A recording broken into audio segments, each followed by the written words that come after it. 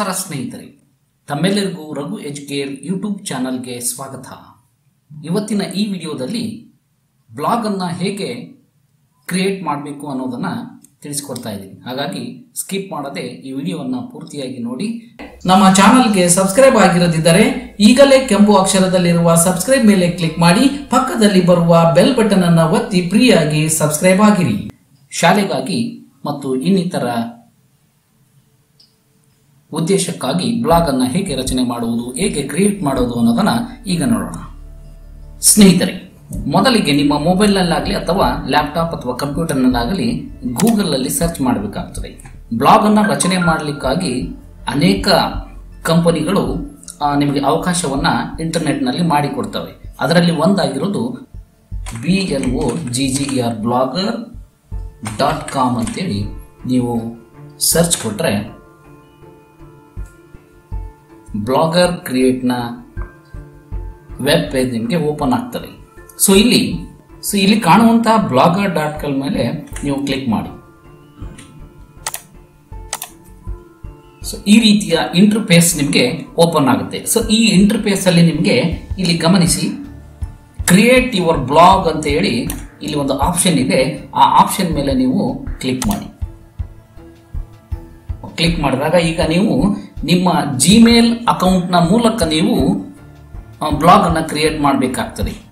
Gmail account ಅನ್ನ ಆಧಾರವಾಗಿಟ್ಟುಕೊಂಡು blogger dot ಕಾಮ್ನವರು ನಿಮಗೆ ಒಂದು ಬ್ಲಾಗ್ ಅನ್ನ ರಚನೆ ಮಾಡ್ತಾರೆ. ಸೊ, ಹೀಗಾಗಿ ನೀವು ನಿಮ್ಮ ಜಿಮೇಲ್ ಅಕೌಂಟ್ ಅನ್ನ ಸೆಲೆಕ್ಟ್ ಮಾಡ್ಕೋಬೇಕು. ಇಲ್ಲಿ ನಾನಿಲ್ಲಿ ನನ್ನ ಜಿಮೇಲ್ ಅಕೌಂಟ್ ಅನ್ನ ಸೆಲೆಕ್ಟ್ ಮಾಡ್ಕೊಳ್ತಾ ಇದ್ದೀನಿ.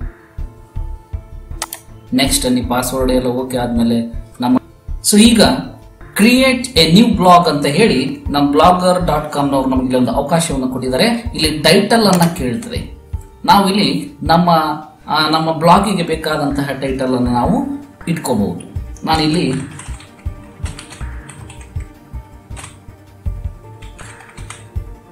Chikka Nandi R G L P S ಅಂತೇಳಿ ನಾನು ನನ್ನ ಬ್ಲಾಗ್ನ ಒಂದು ಟೈಟಲ್ ಅನ್ನ ಇಲ್ಲಿ ಇಟ್ಕೊಂಡು ನೆಕ್ಸ್ಟ್ ಅಂತ ಹೇಳೋಣ. ಸೊ ಇಲ್ಲಿ ಆ ಬ್ಲಾಗ್ ಅಡ್ರೆಸ್ ಯಾವ ರೀತಿ ಬರಬೇಕು ಅನ್ನೋದನ್ನು ಕೂಡ ಇಲ್ಲಿ ನಾವು ಎಂಟ್ರಿ ಮಾಡಬೇಕು. ಇಲ್ಲಿ ಸಿ ಬ್ಲಾಗ್ ಅಡ್ರೆಸ್ ಯಾವ ರೀತಿ ಇರಲಿ ಅಂತ ಹೇಳಿ ನಾವಿಲ್ಲಿ ಕ್ರಿಯೇಟ್ ಮಾಡಬೇಕಾಗ್ತದೆ.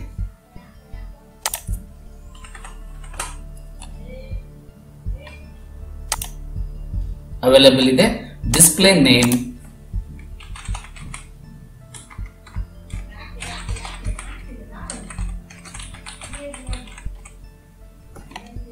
G L P S Chik Nandiyal ಅಂತ ಹೇಳಿ ಡಿಸ್ಪ್ಲೇ ನೇಮ್ ಅನ್ನ ನಾವು ಕೊಟ್ಟಿದೀವಿ.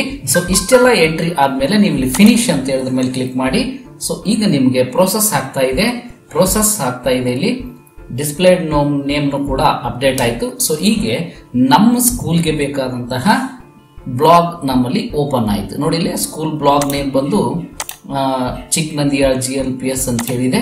ಸೊ ಇಲ್ಲಿ ಪೋಸ್ಟ್ ಏನಿಲ್ಲ, ಒಂದು ನೋಟಿಸ್ ಇದೆ. ಅಂದರೆ ನಾವು ಕ್ರಿಯೇಟ್ ಮಾಡಿದ್ದೀವಲ್ಲ ಅದಕ್ಕೆ ಸಂಬಂಧಿಸಿದಾಗೆ ಒಂದು ನೋಟಿಸ್ ಬರುತ್ತೆ. ಓಕೆ ಅದಾದಮೇಲೆ ಇಲ್ಲಿ ನಾವು ಪೋಸ್ಟನ್ನು ಹಾಕ್ಬೋದು. ನಮ್ಮ ಶಾಲೆಗಳಿಗೆ ಸಂಬಂಧಿಸಿದಂಥ ಪೋಸ್ಟನ್ನು ಹಾಕ್ಬೋದು. ಇಲ್ಲಿ ನಮ್ಮ ಬ್ಲಾಗನ್ನು ಕೂಡ ನಾವು ಇಲ್ಲಿ ನೋಡ್ಬೋದು. ಸೊ ಇಲ್ಲಿ ವ್ಯೂ ಬ್ಲಾಗ್ ಅಂತ ಇದೆ.